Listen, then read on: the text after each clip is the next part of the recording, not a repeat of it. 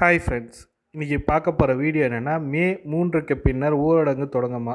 மத்திய அதி அது அரசு அதிகாரி அறிவிப்பு சொல்லிட்டு கொடுத்துருக்கேன். எல்லாரோடைய எதிர்பார்ப்பும் மே மூன்றுக்கு பின்னால் ஊரடங்கு தொடருமா தொடராதான்றது தான் ஃபுல் டீட்டெயில்டாக அவங்க கொடுத்துருக்க அட்வர்டைஸ்மெண்ட் என்னென்னா கூட்டு என்னென்னு கொடுத்துருக்காங்கன்னு பார்த்தீங்கன்னாக்கா மே மூன்றுக்கு பிறகு என்னென்னலாம் செயல்படலாம் அப்படின்ற மாதிரி ஒரு அறிக்கை மாதிரி கொடுத்துருக்காங்க மத்திய அரசாங்கத்திடம். அது என்னன்றத ஃபுல் டீட்டெயிலாக பார்க்க போகிறோம் இந்த வீடியோவை ஸ்கிப் பண்ணாமல் கடைசி வரைக்கும் பாருங்கள் இந்த வீடியோ பிடிச்சிருந்தா லைக் பண்ணுங்கள் ஷேர் பண்ணுங்கள் கமெண்ட் பண்ணுங்கள் கூடிய சப்ஸ்கிரைப் பண்ணுங்கள் கே டெலகிராம் குரூப் இருக்குது கிளிக் பண்ணி ஜாயின் பண்ணிங்க. வாங்க வீடியோக்குள்ளே போகலாம். மே மூன்றுக்கு பிறகு நிறைவடைய நிலையில் அதனை மேலும் நீட்டிப்பது தொடர்பான காணொலி காட்சி வாயிலாக பிரதமர் மோடி மாநில முதலமைச்சர்கள் உடன் நேற்று ஆலோசனை நடத்தினார். மார்ச் இருபத்தி ரெண்டாம் தேதி இருந்து பிரதமர் மோடி மாநில முதலமைச்சர்களுடன் நடந்து நடத்தும் நான்காவது காணொலி கூட்டம் இதுவாகும். முதலமைச்சர் எடப்பாடி பழனிசாமி சென்னை தலைமைச் செயலகத்தில் இருந்தவாறு ஆலோசனை பங்கேற்ற தமிழகத்தில் எடுக்கப்பட்ட ஒரு நாள் தடுப்பு நடவடிக்கைகள் அவர் விளக்கினார். இந்த கொரோனா வைரஸுக்கான தடுப்பு நடவடிக்கைகளை பற்றி எக்ஸ்பிளைன் பண்ணார். பெரும்பாலான முதலமைச்சர்கள் நோய் தொற்று பரவாமல் கட்டுப்படுத்த ஊரடங்கு மேலும் நீட்டிக்க வேண்டும் என வலியுறுத்தியதாகவும் அதே சமயம் சிவப்பு மண்டலங்களில் கண்டிப்பாக ஊரடங்கு தொடரும் என பிரதமர் தெரிவித்ததாகவும் தகவல் வெளியாகின. இதைத் தொடர்ந்து சிவப்பு மண்டல அல்லாதவர்கள் ஒரு சில தளர்வுகள் தொ- தொடங்கப்படலாம். கூட குறிப்பிட்ட சில துறைகளுக்கான தடைகள் மட்டும் முழுமையாக தொடரும் என கூறப்படுகிறது.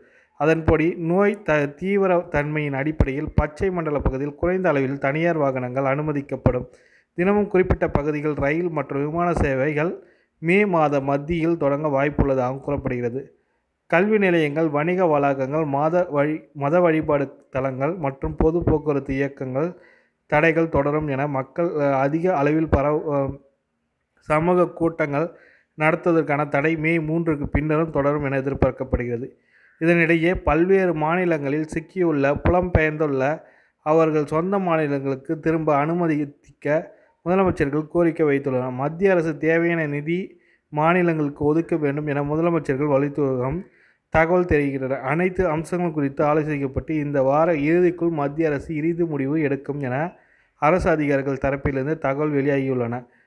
இப்போ பார்த்தீங்கன்னாக்கா என்ன சொல்லியிருக்காங்கன்னா மே மாதத்து மூணுத்துக்கு பிறகு மூன்றுக்கு பிறகு பச்சை மண்டலம் சிவப்பு மண்டலம் ஆரஞ்சு மண்டலம் சொல்லுவாங்க. பச்சை மண்டலத்துக்கு முழு விலக்கு கொடுத்துட்டு அவங்களுக்கு காலையில் ஆறு மணிலேருந்து ஈவினிங் ஆறு மணி வரைக்கும் கடைகள் திறந்து இருப்பது போன்ற பல்வேறு நடவடிக்கைகள் நடத்தலாம். சிவப்பு மண்டலம்ன்றது எந்த ஒரு நடவடிக்கையுமே கிடையாது. ஃபுல் லாக்டவுன் மாதிரி தான் இருக்கும். அதுக்கப்புறம் ஆரஞ்சு மண்டலத்தில் குறிப்பிட்ட சேவைகள் மட்டும் தொடரலான்ற மாதிரி சொல்லியிருக்காங்க. டெஃபினட்டாக இது மாதிரி தான் நடக்கும்னு நினைக்கிறேன். மே மூன்றுக்கு பிறகு திரும்ப ஊரடங்கு நீட்டிக்கப்படுறதுக்கான பல்வேறு வாய்ப்புகள் அதிகமாக இருக்குது தமிழக அரசு அதுக்கான நடவடிக்கைகளை செய்து வருகிறாக சொல்லியிருக்காங்க. பார்ப்போம் என்ன நடக்குதுன்றது.